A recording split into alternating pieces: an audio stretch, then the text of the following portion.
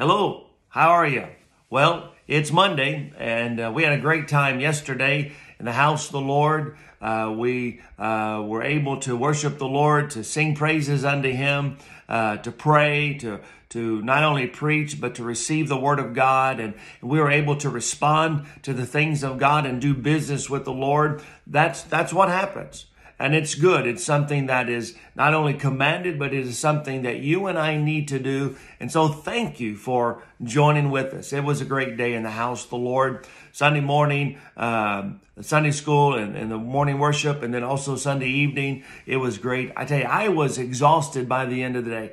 It was a it was a busy week last last week. Uh, we had a funeral on on Saturday, and and uh, uh, the church just did a wonderful job uh, trying to be a blessing to that family. And so, church, I want to just say thank you for that.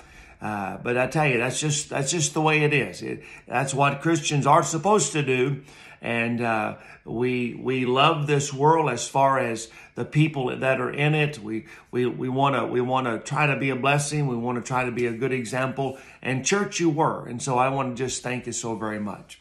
Hey, please continue to pray for the the, the many requests that we've made. Of course, Brother Jack this week as he has surgery on his back. Of course, the Brother Bill Lawrence, uh, Sister Pat Hewlett, and uh, the the Smith family. Uh, we talked about that uh, yesterday as well.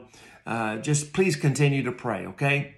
Hey, Susan and I are going to be uh, at a fellowship meeting tomorrow, and Susan and I are going to be talking about the subject of uh, growing emotionally in the ministry. And uh, so just pray for us that we might, uh, you know, uh, be, you know, say the right things and God, God will be able to use us. Um, and so uh, we ask, I just ask for your prayers, okay? All right, well, let's get started with our devotion today, that it might be an encouragement to you. And a very familiar passage, as you know, we are in the book of James, and, and I'm just going to be picking out different uh, uh, verses uh, through uh, throughout this particular book. Uh, but this one, I just I couldn't pass it up. The Bible says in James chapter one, verse number twenty-two, "But be ye doers of the word, and not hearers only, deceiving your own selves." You know. I hope and pray that you take your faith uh, of the Lord seriously. You know, that's the way it ought to be. You know that? That our faith should go beyond just hearing the Word of God, being aware of the Word of God, but literally that we are doers of His Word.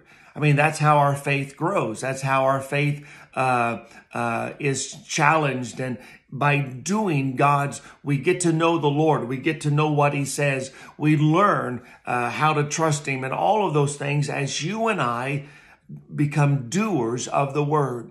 And so this week, as you go about, uh, let's be doers. Let's be determined to, to do what God would have us to do. Let's, let's live by the word of God. Let's, let's put it in our lives. And the reason why, so that first of all, we will grow in our faith.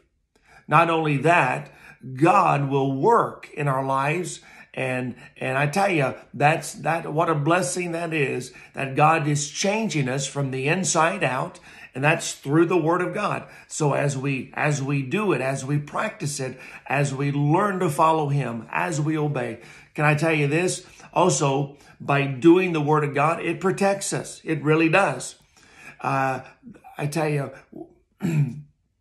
we, you know, it's only by the grace of God that uh, um, we are who we are and and I tell you, we never really realize how much God protects us simply because you obey God's word. And it keeps us out of trouble. It keeps us uh, uh, in the direction that we ought to go. And so God protects us. There's a lot of folks that sure needs protecting. And so I, I, I want to challenge you, be doers of the word. Be doers of the word. Let God work in your life today. He'll bless you. Oh, He will. It's a good thing. It's a good thing. Are we children of God? Then let's do the Word of God. Okay? Let's pray. Father, thank you so much for your precious word. And I pray, Lord, that we will, uh, Lord, may, may we not just be a Sunday Christian, but Lord, help us um, Monday through Saturday. Lord, help us to live for you. Help us to do what you say. And Lord, I pray that as a result, our lives will change for thy honor and for thy glory. Bless us, I pray. In Jesus' name, amen. Have a great day today. We'll see you tomorrow. Bye.